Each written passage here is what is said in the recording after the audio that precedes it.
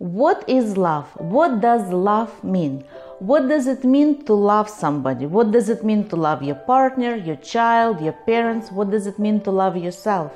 Hi guys, my name is Elena Semenek and this is Psychology of Happiness where happiness is the purpose of life.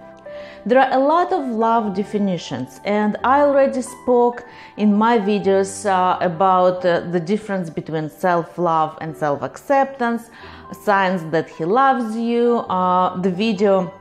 Uh, about how to make a man fall in love with you forever and today i would like to talk about what does love mean what does it mean to love somebody a lot of people confuse love and control. We want to control people that we love.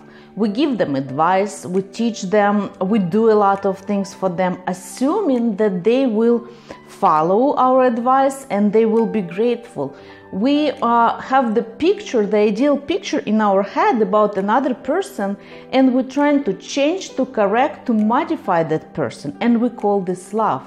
A lot of people saying, Look what I did for you. I spent so much time for you. I did so many things for you. I uh, changed my plans for you. So I, I, I, I. This is not love, this is control and manipulation. What does love mean? In reality, the true love and today I will talk about four things.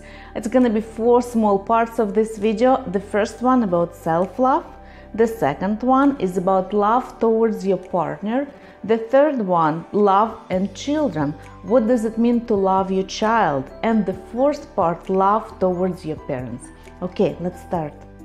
Love means freedom.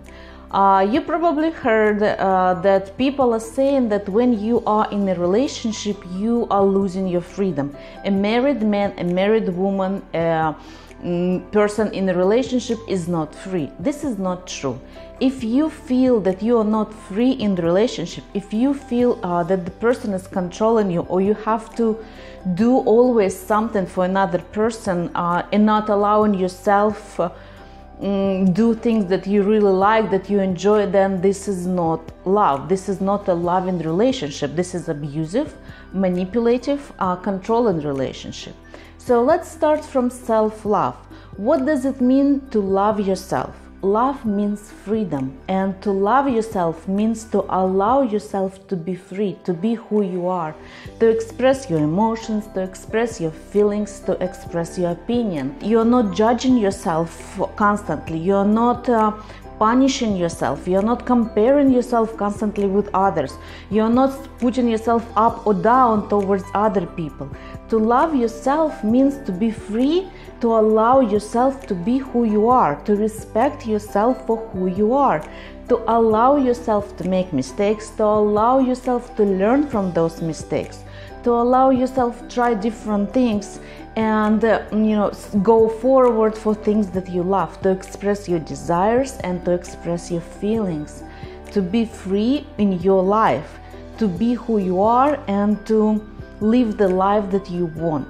And I have a separate video about self love, uh, self acceptance. If you want to learn a little bit deeper about this subject, I will leave the link below this video. What does it mean to love your partner, your husband, your wife, your boyfriend, your girlfriend? It also means freedom.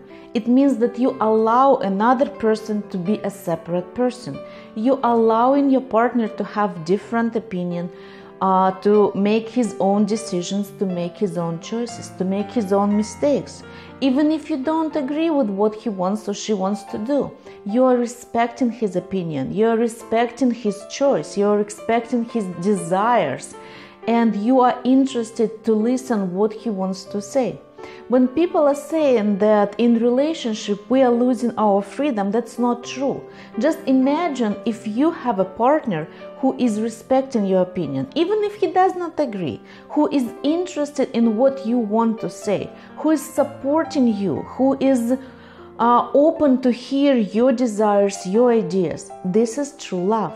So to love another person means to let the other person to be who he is, to be free in expressing his feelings, his emotions, and have and make his own decisions. What does it mean to love a child? If you don't have children, just think about your childhood. Think about when you were a little boy or a little girl. And mothers and fathers who are watching my videos, are you allowing your children to be free? Are you allowing your children to express their emotions, their feelings, their desires?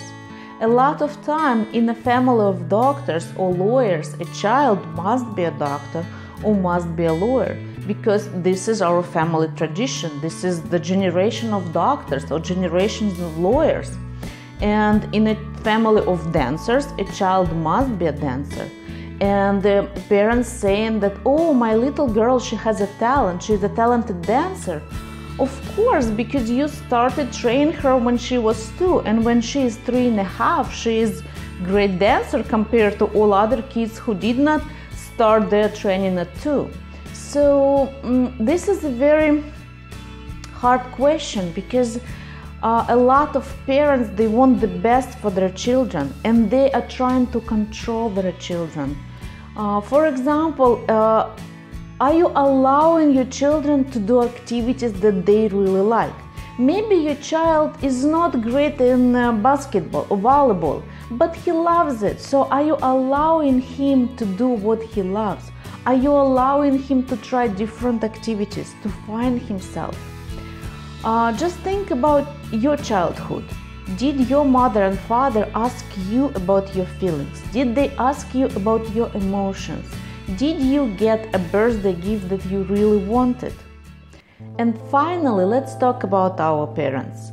When we were children, our parents were telling us what to do.